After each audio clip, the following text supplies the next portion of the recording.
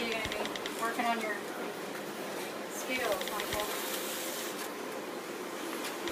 Hey, what's up, dudes?